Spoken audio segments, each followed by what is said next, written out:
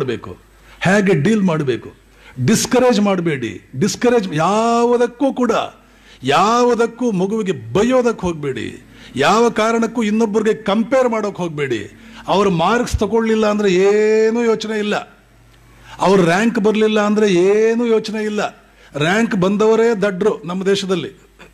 ಈ ದೇಶದ ಶಿಕ್ಷಣ ಪದ್ಧತಿ ಹೇಗಿದೆ ಅಂದ್ರೆ, ಇಲ್ಲಿ ರ್ಯಾಂಕ್ ತಗೊಂಡವರೇ ದಡ್ರು. ಇಲ್ಲಿ ಮಾರ್ಕ್ಸ್ ಜಾಸ್ತಿ ತಗೊಂಡವರೇ ದಡ್ರು. ಹೀಗೆ ಯೋಚನೆ ಮಾಡಿ. ಇವತ್ತು ನಮ್ಮ ದೇಶದ ವಾತಾವರಣ ಯೋಚನೆ ಮಾಡಿ. ಒಂದು ಕ್ಲಾಸ್ನಲ್ಲಿ ಮೂರು ರೀತಿಯ ಮಕ್ಕಳಿರ್ತಾರೆ ಬಹಳ ಬುದ್ಧಿವಂತರು, ಮಧ್ಯರು, ದಡ್ರು. ದಡ್ರು ಹಿಂದ್ಗಡೆ ಕೂತ್ಕೊಳ್ತಾರೆ. ಮಧ್ಯ ಇರ್ತಕ್ಕಂಥವ್ರು ತಕ್ಕಮಟ್ಟಿಗೆ ಇರ್ತಾರೆ. ಮುಂದ್ಗಡೆ ಇರ್ತಕ್ಕಂಥವ್ರು ಬುದ್ಧಿವಂತರು ಇರ್ತಾರೆ. ದೇಶದ ವಾತಾವರಣ ನಾವು ವಸ್ತು ನಿಷ್ಠವಾಗಿ ಇವತ್ತು ಯೋಚನೆ ಮಾಡೋಣ. ಮುಂದ್ಗಡೆ ಕುಳಿತಿರೋ ಮಕ್ಕಳಲ್ಲಿ ಏನಾಗ್ತಾರೆ? ಡಾಕ್ಟರ್ಗಳಾಗ್ತಾರೆ. ಇಲ್ಲ ಐ ಐ ಟಿಗೆ ಹೋಗ್ತಾರೆ. ಇಲ್ಲ ಅಮೆರಿಕಾಗೆ ಹೋಗ್ತಾರೆ. ಇಲ್ಲ ಇಂಜಿನಿಯರ್ಗಳಾಗ್ತಾರೆ. ಅದರ ಹಿಂದ್ಗಡೆ ಕುಳಿತುಕೊಂಡಿರ್ತಕ್ಕಂಥವ್ರು ಇವರಷ್ಟು ಬುದ್ಧಿವಂತರಲ್ಲ. ಅವರು ಡಾಕ್ಟರ್ ಆಗಲ್ಲ. ಅವರು ಬೇರೆ ಏನೋ ಕಾಮರ್ಸ್ ತಗೊಳ್ತಾರೆ. ಬಿ ಕಾಮ್ ಮಾಡ್ತಾರೆ ಸಿ ಎ ಮಾಡ್ತಾರೆ, ಮತ್ತೇನೋ ಮಾಡ್ತಾರೆ. ಲೆಕ್ಚರರ್ಸ್ ಆಗ್ತಾರೆ ಹೈಸ್ಕೂಲ್ ಟೀಚರ್ಸ್ ಆಗ್ತಾರೆ, ಇಲ್ಲ ಬಿ ಎ ಇತ್ಯಾದಿಗಳನ್ನೆಲ್ಲ ಮಾಡ್ತಾರೆ. ಆಮೇಲೆ ಬಿ ಎ ಎಲ್ಲ ಮಾಡಿ ಆದಮೇಲೆ ಬಿ ಎ ವಿಶೇಷವಾಗಿ ಬಿ ಎ ಬಿ ಕಾಮ್ ಇದೆಲ್ಲ ಮಾಡಿ ಆದಮೇಲೆ ಎಂ ಕಾಮ್ ಮಾಡ್ತಾರೆ, ಮತ್ತೇನೋ ಮಾಡ್ತಾರೆ, ಕೆಲಸ ಸಿಗಲ್ಲ. ಏನು ಕೆಲಸ ಸಿಗ್ತಾ ಇಲ್ವಲ್ಲ. ಹೋಗ್ಲಿ. ಆಮೇಲೆ ಒಂದು U P S C examination ತಗೊಳ್ಳೋಣ ಕೆ ಎ ಎಸ್ ಎಕ್ಸಾಮ್ ತಗೊಳ್ಳೋಣ, ಹೇಗಿದ್ರು ನೌಕರಿ ಆಗ್ತಾ ಇಲ್ಲ ಸುಮ್ಮನೆ ಕೂತ್ಕೊಂಡು ಏನು ಮಾಡೋದು ಅಂತ ಎಕ್ಸಾಮಿನೇಷನ್ ತಗೊಳ್ತಾರೆ. ಅದಕ್ಕಿಂತ ಹಿಂದೆ ಇರೋರು ಇನ್ನು ಸ್ವಲ್ಪ low ಮಟ್ಟದವರು. First division clerk second division clerk railway ಇನ್ಯಾವುದಾದ್ರೂ ಒಂದು ಕ್ಲಾರ್ಕು ಆ ಆ ಕಡೆ ಎಕ್ಸಾಮಿನೇಷನ್ ತೊಗೊಳ್ಳ ಅಂತ ತಗೊಳ್ತಾರೆ. ಕೊನೆಗೆ ಹುಡುಗರು ಇರ್ತಾರೆ. ಅವ್ರು ಯಾವುದರಲ್ಲೂ ಪಾಸ್ ಮಾಡಿರಲ್ಲ. ಕೊನೆಗೆ ಸಾಕಾಗಿ ಅವ್ರ ಇವ್ರ ಕೈಯಲ್ಲಿ ಬೈಸ್ಕೊಂಡು, ನಮ್ಮೂರಿನಲ್ಲಿರ್ತಕ್ಕಂಥ ಯಾವುದೋ ರಾಜಕಾರಣಿಗಳ ಹಿಂದೆ ಓಡಾಡಿಕೊಂಡು ಚುನಾವಣೆಗಳಿಗೆ ಅವ್ರಿಗೊಂಚೂರು ಹೆಲ್ಪ್ ಮಾಡಿಕೊಂಡು ಹಾಗೂ ಹೀಗೂ ಏನೋ ಮಾಡಿ ಒಂದು ಕೊನೆಗೊಬ್ಬ ಝಡ್ ಪಿ ಮೆಂಬರ್ ಆಗಿ, ಮಂಡಲ್ ಪಂಚಾಯಿತಿ ಮೆಂಬರ್ ಆಗಿ ಎಂ ಎಲ್ ಎ ಆಗ್ತಾರೆ. ಈ ಮುಂದ್ಗಡೆ ಇರತಕ್ಕಂಥ ಈ ಡಾಕ್ಟರ್ಗಳು, ಇಂಜಿನಿಯರ್ಗಳನ್ನು ಇವರಿಗಿಂತಲೂ ಅಷ್ಟು ಬುದ್ಧಿವಂತರ ಅಲ್ಲದಂತಹ, ಆ ಹಿಂದ್ಗಡೆ ಇದ್ದಂಥ ಕೆ ಎ ಎಸ್ನವರು ಐ ಎ ಎಸ್ನವರು ಆಳ್ತಾರೆ. ಮುಂದ್ಗಡೆ ಇದ್ದವರು ಎಲ್ಲರಿಗಿಂತ ಬುದ್ಧಿವಂತರು. ಅದಕ್ಕಿಂತ ಹಿಂದೆ ಇದ್ದವರು ಅಷ್ಟೇನು ಬುದ್ಧಿವಂತರಲ್ಲ. ಅವರು ಈ ಮುಂದ್ಗಡೆ ಇದ್ದಂಥ ಬುದ್ಧಿವಂತರನ್ನು ಆಳ್ತಾರೆ ಕೆ ಎ ಎಸ್ ಮಾಡಿ. ಇವರೆಲ್ಲರನ್ನೂ ಹಿಂದ್ಗಡೆ ಕುಳಿತಿರ್ತಕ್ಕಂಥ ಯಾವ ಎಕ್ಸಾಮ್ನಲ್ಲೂ ಪಾಸ್ ಮಾಡದೆ ಕಾಪಿ ಹೊಡೆದು ಕೊನೆಗೆ ಎಂ ಎಲ್ ಎ ಆಗಿ ಮಿನಿಸ್ಟರ್ ಆದವರು, ಮಹಾ ದಡ್ಡ ಹುಡುಗರು, ಈ ಬುದ್ಧಿವಂತರನ್ನೆಲ್ಲ ಆಳ್ತಾರೆ. ಇದು ತಾನೇ ನಮ್ಮ ದೇಶದ ಪರಿಸ್ಥಿತಿ ಇವತ್ತು. ನಮ್ಮ ದೇಶ ಇವತ್ತಿರೋದು ಹೀಗೆ ತಾನೆ. ರಾಜಕಾರಣಕ್ಕೆ ಯಾರು ಹೋಗ್ತಾರೆ? ಪ್ರಾಮಾಣಿಕವಾಗಿ ಹೇಳೋಣ. ಎಲ್ಲೂ ನೌಕರಿ ಸಿಗದೆ, ಎಲ್ಲೂ ಯಾವ ಎಕ್ಸಾಮಿನೇಷನ್ ಪಾಸ್ ಮಾಡದೆ ಇಂಗ್ಲೀಷಲ್ಲಿ ಎರಡು ವಾಕ್ಯ ಮಾತನಾಡೋದಕ್ಕೆ ಬರದೆ, ಕನ್ನಡದಲ್ಲಿ ಐದು ವಾಕ್ಯ ಕರೆಕ್ಟಾಗಿ ಬರೆಯೋದಕ್ಕೆ ಬರದೆ, ಹೀಗಿರೋರೇ ನಮ್ಮ ದೇಶದಲ್ಲಿ ರಾಜಕಾರಣಕ್ಕೆ ಹೋಗೋರು. ಬೇರೆ ಯಾರು ಹೋಗ್ತಾರೆ? ರ್ಯಾಂಕ್ ಸ್ಟೂಡೆಂಟ್ಸ್ ರಾಜಕಾರಣಕ್ಕೆ ಹೋಗ್ತಾರೆ. ಹೋಗಲ್ಲ. ಆಮೇಲೆ ಐ ಎ ಎಸ್ ಇತ್ಯಾದಿಗಳನ್ನೆಲ್ಲ ಯಾರು ಮಾಡ್ತಾರೆ? ಬಿ ಎ ಮಾಡಿ ಎಂ ಎ ಮಾಡಿ, ನೌಕರಿ ಸಿಗದೆ ಎಂ ಎಸ್ ಸಿ ಮಾಡಿ, ನಾನು ಒಂದು ನೂರು ಜನ ಐ ಎ ಎಸ್ ಆಫೀಸರ್ಸ್ ನನ್ನ ಪರಿಚಯ ಇದ್ದಾರೆ. ಒಂದು ನೂರು ಜನ. ಒಬ್ಬಿಬ್ಬರನ್ನ ನೆನ್ಪಿಟ್ಕೊಳ್ಳಿ. ಅವರು ಯಾರು ಮೆಡಿಕಲ್ಗೆ ಸೀಟ್ ಸಿಗದೆ M B B S seat ಸಿಗದೆ, ಮತ್ತು ಐ ಐ ಟಿನಲ್ಲಿ ಸೀಟ್ ಸಿಗದೆ ಹೈ ಲೆವೆಲ್ ಹೈ ಲೆವೆಲ್ನಲ್ಲಿ ಒಳ್ಳೊಳ್ಳೆ prestigious college R V college PESIT college ಇಂಥ ಕಡೆ ಸೀಟ್ ಸಿಗದೆ, ಆಮೇಲೆ M S C B S C ಮಾಡಿ ಐ ಎ ಎಸ್ ಇತ್ಯಾದಿ ಮಾಡಿದವರು. ಡಾಕ್ಟರ್ ಥೊಬ್ಬಿ ಅಂತ ಇರ್ತಾರೆ ಬಿಜಾಪುರದಲ್ಲಿ. ಅವರು ಫಸ್ಟ್ ರ್ಯಾಂಕ್ ತಗೊಂಡವರು ಡಾಕ್ಟರ್ ಆದರು. ಎಂ ಬಿ ಬಿ ಎಸ್ ಸೀಟೇ ಸಿಗದೆ ಬೇಜಾರಾದವನು ಬಿ ಇ ಮಾಡಿ ಐ ಎ ಎಸ್ ತಗೊಂಡು ಇವ್ರ ಮೇಲಿನ ಆಫೀಸರ್ ಆದ. ವಿವೇಕ್ ಕುಲಕರ್ಣಿ ಅಂತ ಕೇಳಿರ್ಬೇಕು ನೀವು. Vivek Kulkarni I A S ನಲ್ಲಿದ್ದರು. Vivek Kulkarni ತೊಬ್ಬಿಗಿಂತ ಬಹಳ ಕೆಳಮಟ್ಟದ ವಿದ್ಯಾರ್ಥಿ, Thobbi rank student first rank student ಈ ತೊಬ್ಬಿಯ ಮೇಲೆ ಆಫೀಸರ್ ಆದರು. ಇದು ಈ ದೇಶದ ಪರಿಸ್ಥಿತಿ. ಆದ್ದರಿಂದ ಮಕ್ಕಳು ಸರಿಯಾಗಿ ಕಲಿತಿಲ್ಲ ಮಾರ್ಕ್ಸ್ ಬರ್ತಿಲ್ಲ ಅಂತ ನೆನ್ಪಿಟ್ಕೊಳ್ಳಿ, ಮಗುವಿನ ಮಾರ್ಕ್ಸ್ಗೂ ಅವರ ಬುದ್ಧಿ ಸಾಮರ್ಥ್ಯಕ್ಕೂ ಯಾವ ಸಂಬಂಧವೂ ಇಲ್ಲ. ಮಗುವಿನ ಮಾರ್ಕ್ಸ್ ಜಾಸ್ತಿ ಇದೆ, ಆದ್ದರಿಂದ ಮುಂದೆ ಬಹಳ ದೊಡ್ಡ ಬುದ್ಧಿವಂತನಾಗ್ತಾನೆ, ವಿದ್ಯಾವಂತನಾಗ್ತಾನೆ ನಥಿಂಗ್ ಡೂಯಿಂಗ್ ಅದಕ್ಕೂ ಅದಕ್ಕೂ ಏನು ಸಂಬಂಧವಿಲ್ಲ.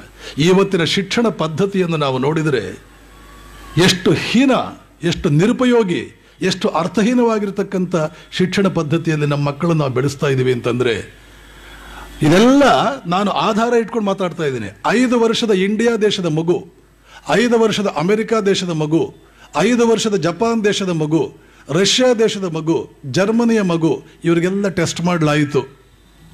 ಒಂದು ನೂರು ನೂರು ಮಕ್ಕಳನ್ನ ಇಟ್ಕೊಂಡು ಟೆಸ್ಟ್ ಮಾಡಲಾಯಿತು. ಯಾವಾಗ ಗೊತ್ತಾ? ಸುಮಾರು ಇಪ್ಪತ್ತು ವರ್ಷಗಳ ಹಿಂದೆ. ಐದು ವರ್ಷದ ಇಂಡಿಯಾ ದೇಶದ ಮಗು ಇವರೆಲ್ಲರಿಗಿಂತಲೂ ನಂಬರ್ ಒನ್ ಬಂತು. ಅರ್ಥವಾಗ್ತಾ ಇದೆ ನಾ ಹೇಳೋದು ಐದು ವರ್ಷದ ಇಂಡಿಯಾ ದೇಶದ ಮಗು ನೀವು ನಂಬ್ತಾ ಇಲ್ಲ. ನಿಮ್ಗೆ ನಂಬೋದಕ್ಕೆ ಆಗ್ತಾ ಇಲ್ಲ. ನಾನೇನು ಸುಳ್ಳು ಹೇಳ್ತಾ ಇದ್ದೀನಿ ಅಂತ. ನೀವು, ನಾನು ಹೇಳಿದ್ನಲ್ಲ, ಹದಿಮೂರು ದೇಶ ನೋಡಿ ಬಂದಿದ್ದೀನಿ. ಒಂದು ದೇಶ ಅಲ್ಲ. ನಾನು ಬರೀ ನಿಮ್ಮೂರಲ್ಲಿ, ನಿಮ್ಮ ಪಕ್ಕದ ಊರಲ್ಲಿ ಕೂತವನು ಅಂತ ಅನ್ಕೋಬೇಡಿ. ಇದೇ ಮಾತುಗಳನ್ನು ರೇಡಿಯೋದಲ್ಲಿ ಮಾತಾಡಿದ್ದೀನಿ. ರೇಡಿಯೋದಲ್ಲಿ ಮಾತನಾಡುವಾಗ ಜನ ಕ್ವಶನ್ ಮಾಡ್ತಾರೆ ನನಗೆ, ಹೀಗೆಲ್ಲ ಹೇಳಿದ್ರಲ್ಲ ಹೇಗೆ ಅಂತ. ಕರೆಕ್ಟ್ ಆಗಿಲ್ಲ ಅಂತಂದ್ರೆ ರೇಡಿಯೋದಲ್ಲಿ, ಟಿವಿನಲ್ಲಿ ಮಾತಾಡೋಕ್ಕಾಗಲ್ಲ. ಇದನ್ನೆಲ್ಲ ರೇಡಿಯೋದಲ್ಲಿ ಮಾತಾಡಿದ್ದೀನಿ. ಟಿ ವಿನಲ್ಲಿ ಮಾತಾಡಿದ್ದೀನಿ. ಜನನ ಯಾರು ಪ್ರಶ್ನೆ ಮಾಡಿಲ್ಲ. ಯಾಕೆ? ಇಟ್ಸ್ ಅ ಫ್ಯಾಕ್ಟ್ ಇದು ಸತ್ಯ ಸಂಗತಿ. ಐದು ವರ್ಷದ ಇಂಡಿಯಾ ದೇಶದ ಮಗು, ಜಪಾನ್ ದೇಶದ ಮಗು, ಇಂಗ್ಲೆಂಡ್ ಮಗು, ಜರ್ಮನಿಯ ಮಗು, ರಷ್ಯಾ ದೇಶದ ಮಗು, ಇವರೆಲ್ಲರನ್ನೂ ಕೂಡ ಪರೀಕ್ಷೆ ಮಾಡಲಾಯಿತು. ಫಸ್ಟ್ ಬಂದಿದ್ದು ಇಂಡಿಯಾ ದೇಶದ ಮಗು. ಅಮೆರಿಕದಲ್ಲಿ ಇಂಡಿಯನ್ಸ್ ಇದ್ದಾರೆ. ನಮ್ಮ ಇಂಡಿಯನ್ಸು ಅಮೆರಿಕದಲ್ಲಿದ್ದಾರೆ. ಒಬ್ಬ ಅಮೆರಿಕನ್ನ ಸರಾಸರಿ ಒಂದು ವಾರ್ಷಿಕ ವರಮಾನ ಅಮೆರಿಕ ದೇಶದವನು, ಅವನು. ಒಂದು ವರ್ಷಕ್ಕೆ ಅವನು ಗಳಿಸೋದು ಐವತ್ತು ಸಾವಿರ ಡಾಲರ್. ಒಂದು ವರ್ಷಕ್ಕೆ ಇಂಡಿಯಾ ದೇಶದ ವ್ಯಕ್ತಿ ಗಳಿಸೋದು ತೊಂಬತ್ತು ಸಾವಿರ ಡಾಲರ್. ಗೊತ್ತಾ ನಿಮಗಿದು ನಿಮ್ಗೆ ಗೊತ್ತಿಲ್ಲ. ಆವರೇಜ್ ಅಮೆರಿಕನ್ ಒಬ್ಬ ಅಮೆರಿಕನ್ ಒಂದು ವರ್ಷಕ್ಕೆ ಗಳಿಸೋದು ಐವತ್ತು ಸಾವಿರ ಡಾಲರ್. ಇಂಡಿಯಾದಿಂದ ಹೋಗಿ ಅಲ್ಲಿ ನೆಲೆಸಿದಾರಲ್ಲ, ಅವರು ಗಳಿಸೋದು ತೊಂಬತ್ತು ಸಾವಿರ ಡಾಲರ್. ಇವನ ಎರಡು ಪಟ್ಟು, ಸ್ವಲ್ಪ ಹೆಚ್ಚು ಕಡಿಮೆ. ಇಲ್ಲೇ ಯೋಚನೆ ಮಾಡಿ, ಭಾರತೀಯರ ಬ್ರೈನ್ ಹೇಗಿದೆ? ಇಂಡಿಯಾ ದೇಶದ ವ್ಯಕ್ತಿಯ ಬ್ರೈನ್ ಹೇಗಿದೆ? ಇಲ್ಲೇ ಅರ್ಥ ಮಾಡ್ಕೊಳ್ಳಿ ನೀವು. ಐದು ವರ್ಷದ ಮಗುವಿಗೆ Japan, Germany, England, America, Indian ಈ ಐದು ದೇಶದ ಮಕ್ಕಳಿಗೆ ನೀವು ಟೆಸ್ಟ್ ಮಾಡಿದ್ರೆ ಇಂಡಿಯಾ ದೇಶದ ಮಗು ನಂಬರ್ ಒನ್ ಬರ್ತಾನೆ. ಎಸ್ ಎಲ್ ಸಿ ಮುಗಿದ ಮೇಲೆ, ಹತ್ತು ವರ್ಷಗಳ ಎಜುಕೇಷನ್ ಆದ ಮೇಲೆ, ಇಂಡಿಯಾ ದೇಶದ ಮಗು ಇಪ್ಪತ್ತಾರನೇ ರ್ಯಾಂಕ್ ಬರ್ತಾನೆ. ಇಪ್ಪತ್ತಾರನೇ ರ್ಯಾಂಕ್ ಬರ್ತಾನೆ. ಹತ್ತು ವರ್ಷಗಳ ಎಜುಕೇಷನ್ ನಾವು ಇಂಡಿಯಾದಲ್ಲಿ ಮಕ್ಕಳಿಗೆ ಕೊಟ್ಟು, ಅವರಿಗೆ ಇಪ್ಪತ್ತೈದು ರ್ಯಾಂಕ್ ಕೆಳಗಡೆ ಹೋಗುವ ಹಾಗೆ ಮಾಡ್ತೇವೆ. ಯಾಕೆಂದರೆ ನಮ್ಮ ಎಜುಕೇಷನ್ ಸಿಸ್ಟಮ್ ಸರಿ ಇಲ್ಲ. ಆದ್ದರಿಂದ ಈ ಮಕ್ಕಳು ಈ ಎಜುಕೇಷನ್ ಸಿಸ್ಟಮ್ನಲ್ಲಿ ಮಾರ್ಕ್ಸ್ ತಗೊಂಡಿದ್ದಾರೆ ಆದ್ದರಿಂದ ಬಹಳ ಬುದ್ಧಿವಂತ, ಮಾರ್ಕ್ಸ್ ತಗೊಂಡಿಲ್ಲ ಆದ್ದರಿಂದ ದಡ್ಡ, ಯಾವ ಕಾಲಕ್ಕೂ ಹಾಗೆ ಯೋಚನೆ ಮಾಡೋದಕ್ಕೆ ಹೋಗಬೇಡಿ. ಅದು ಸುಳ್ಳು, ತಪ್ಪದು. ನಿಜಕ್ಕೂ ಕೂಡ ಮಕ್ಕಳಿಗೆ ಪರೀಕ್ಷೆ ಮಾಡಬೇಕಾದ್ದು ಈಗ ನಮ್ಮ ದೇಶದಲ್ಲಿ ಒಂದು ಮೆಥಡ್ ಇದೆಯಲ್ಲ? ಈ ಮೆಥಡ್ ಅಲ್ಲ. ಈ ಮೆಥಡ್ಡಿಂದ ನಮ್ಮ ಮಕ್ಕಳು ಸಫರ್ ಆಗ್ತಾ ಇದ್ದಾರೆ. ಈ ಮೆಥಡ್ಡಿಂದ ಅವರನ್ನು ತೆಗೆದು ಬಿಡ್ರಿ ಅವರು ಏನೆಲ್ಲ ಸಾಧನೆ ಮಾಡಿಬಿಡ್ತಾರೆ? ಈ ಬೇಕಾದ್ದನ್ನು ಸಾಧನೆ ಮಾಡ್ತಾರೆ. ನಾನು ರವಿಚಂದ್ರನ್ ಅವ್ರದ್ದು ಎಕ್ಸಾಂಪಲ್ ಕೊಟ್ಟೆ. ಮತ್ತೊಮ್ಮೆ ಆ ಎಕ್ಸಾಂಪಲ್ ಬಹಳ ನಮಗೆ ಪಾಠಗಳನ್ನು ಕಲಿಸುತ್ತೆ. ನೆನ್ಪಿಟ್ಕೊಳ್ಳಿ. ಆ ಹುಡುಗ ಒಂದನೇ ಒಂದನೇ ಕ್ಲಾಸ್ನಿಂದ ಬಿ ಎವರೆಗೆ ಓದಿದ್ದು ಕನ್ನಡ ಮೀಡಿಯಂನಲ್ಲಿ ಒಂದನೇ ಕ್ಲಾಸ್ನಿಂದ ಹಿಡಿದು ಬಿ ಎವರೆಗೆ ಓದಿದ್ದು ಕನ್ನಡ ಮೀಡಿಯಂನಲ್ಲಿ ತಾಯಿಗೆ ಕನ್ನಡ ಬರೆಯೋದಕ್ಕೆ ಬಂದರೆ ದೊಡ್ಡದು. ಬಂದು ಬಂದು ಬರ್ತಿರ್ಬೇಕು. ಬಹಳ ಬಹಳ ವಿದ್ಯಾವಂತರೇನಲ್ಲ. ತಂದೆ ತಾಯಿ ಬಹಳ ವಿದ್ಯಾವಂತರೇನಲ್ಲ. ಈ ಹುಡುಗ ಕೂಲಿ ಹುಡುಗ. ಒಂದು ವಾರದಲ್ಲಿ ನಾಲ್ಕು ದಿನ ಎರಡು ಹೊತ್ತು ಊಟ ಮಾಡುವಷ್ಟು ಊಟ ಇಲ್ಲ ಅವನಿಗೆ. ಅವರ ವೀಕೆಂಡ್ ವಿತ್ ರಮೇಶ್ ಅಂತ ಅವ್ರ ಬಗ್ಗೆ ಒಂದು ಪ್ರೋಗ್ರಾಮ್ ಬಂದಿತ್ತು. ಅದರಲ್ಲಿ ಇದೆಲ್ಲ ಹೇಳ್ಕೊಂಡಿದ್ದಾರೆ ಅವರು.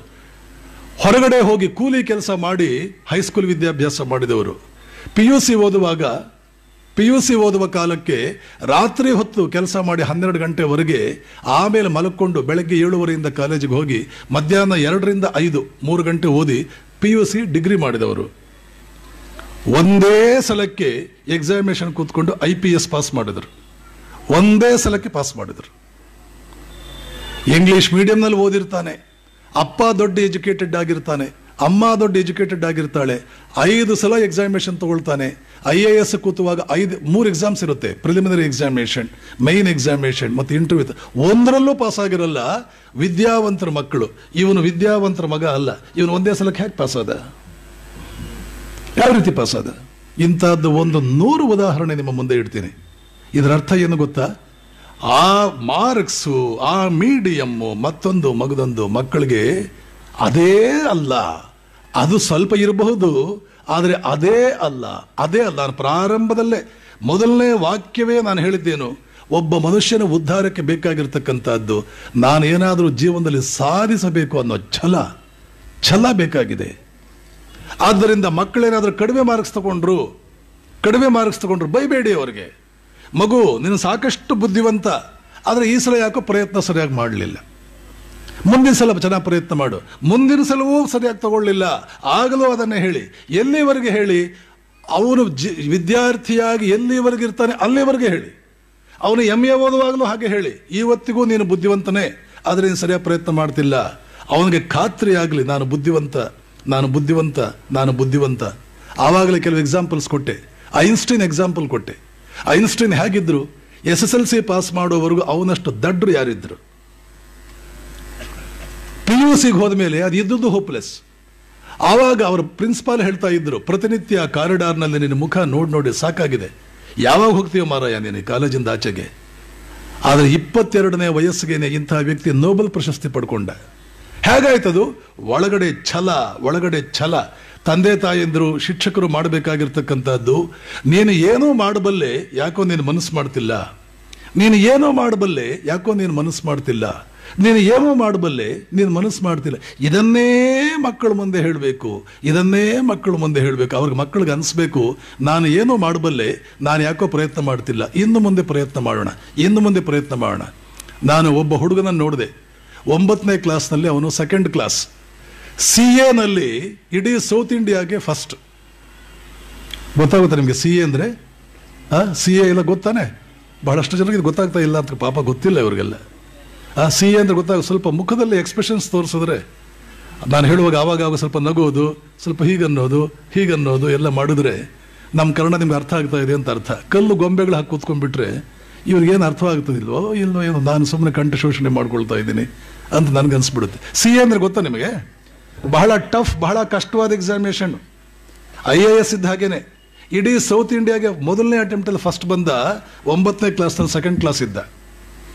ಎಸ್ ಎಸ್ ಎಲ್ ಸಿನಲ್ಲಿ ಅಕ್ಕಂದ್ರಿಬ್ಬರು ಬಹಳ ಬುದ್ಧಿವಂತರು ಈ ತಮ್ಮ ನೋಡಿದ್ರೆ ಇವನು ಅಷ್ಟೇನೂ ಇಲ್ಲ. ಎಂಟನೇ ಕ್ಲಾಸ್, ಒಂಬತ್ತನೇ ಕ್ಲಾಸ್ನಲ್ಲಿ ನಾನು ಅವ್ರ ತಾಯಿಗೆ ಹೇಳಿದೆ, ಇದನ್ನೇ ಹೇಳ್ತಾ ಹೋಗಿ ನಿಮ್ಮ ಮಗುಗೆ, ಅಕ್ಕಂದ್ರೆ ಹೀಗಿದ್ದಾರೆ ಅಂದರೆ ನಿನಗೂ ಅದೇ ರಕ್ತ ಅಲ್ವೇನೋ? ನಿನ್ನ ರಕ್ತ ಬೇರೆ ಇದೆಯೇನೋ? ನೀನು ಅಷ್ಟೇ ಬುದ್ಧಿವಂತ ಇದೆಯಾ? ಪ್ರಯತ್ನ ಮಾಡು, ಇಷ್ಟನ್ನೇ ಹೇಳ್ತಾ ಹೋಗಿ ನಿಮ್ಮ ಮಗನಿಗೆ ಅಂತ ಹೇಳಿದೆ. ತಾಯಿ ಅದನ್ನೇ ಹೇಳ್ತಾ ಹೋದ್ಲು. ಸೆಕೆಂಡ್ ಪಿ ಯು ಸಿನಲ್ಲಿ, ಫಿಸಿಕ್ಸು, ಕೆಮಿಸ್ಟ್ರಿ, ಮ್ಯಾಥಮೆಟಿಕ್ಸ್ನಲ್ಲಿ ನೂರಕ್ಕೆ ನೂರು ತಗೊಂಡ. S S L C first class ಬಂದರೆ ಸಾಕು ಅನ್ನೋ ಮಟ್ಟದಲ್ಲಿದ್ದ. ಸೆಕೆಂಡ್ ಪೀಸ್ ಚೇಂಜ್ ಆದ. ಮುಂದೆ ಮಕ್ಕಳು ಚೇಂಜ್ ಆಗ್ತಾರೆ. ಯಾವಾಗ ಚೇಂಜ್ ಆಗ್ತಾರೆ? ಆತ್ಮವಿಶ್ವಾಸಕ್ಕೆ ಏನು ತೊಂದರೆ ಇಲ್ಲ ಅಂದರೆ ಚೇಂಜ್ ಆಗ್ತಾರೆ. ಆತ್ಮವಿಶ್ವಾಸವೇ ಸತ್ತು ಹೋಗಿಬಿಟ್ಟಿದ್ರೆ ಚೇಂಜ್ ಆಗಲ್ಲ. ಆತ್ಮವಿಶ್ವಾಸ ಸಾಯಬಾರದು.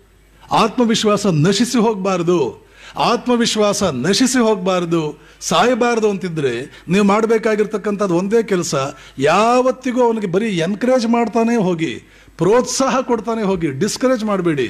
ನಿನ್ನ ಕೈನಲ್ಲಿ ಆಗುತ್ತೆ ನಿನ್ನ ಕೈನಲ್ಲಿ ಆಗುತ್ತೆ ನಿನ್ನ ಕೈನಲ್ಲಿ ಆಗುತ್ತೆ ಅಂತಲೇ ಹೇಳ್ತಾ ಹೋಗಿ, ಬೇರೆ ಕೂಡ ಏನು ಹೇಳ್ತಾ ಹೋಗ್ಬೇಡಿ.